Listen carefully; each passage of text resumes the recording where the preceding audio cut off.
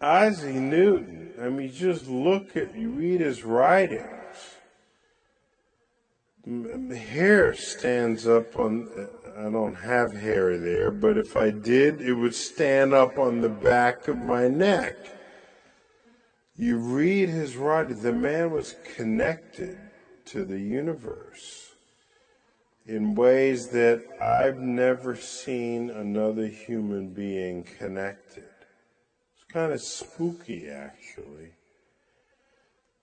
Uh, he discovers the laws of optics, figures out that white light is composed of colors. That's kind of freaky right there. You take your colors of the rainbow, put them back together, you get white light again. That freaked out the artists of the day. How does that work? Red, orange, yellow, green, blue, violet gives you white.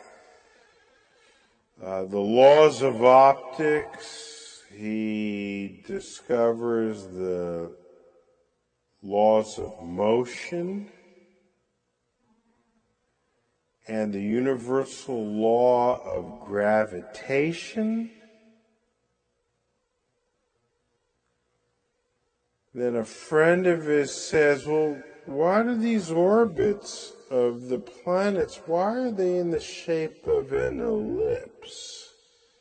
Sort of flattened circle. Why aren't they some other shape? And he said, you know, I can't, I don't know. I'll get back to you. So he goes, goes home, comes back couple months later. Here, here's why. They're actually conic sections, sections of a cone that you cut. And they said, well, how did you find this out? How did you determine this? Well, I had to invent integral and differential calculus to determine this. Then he turned 26.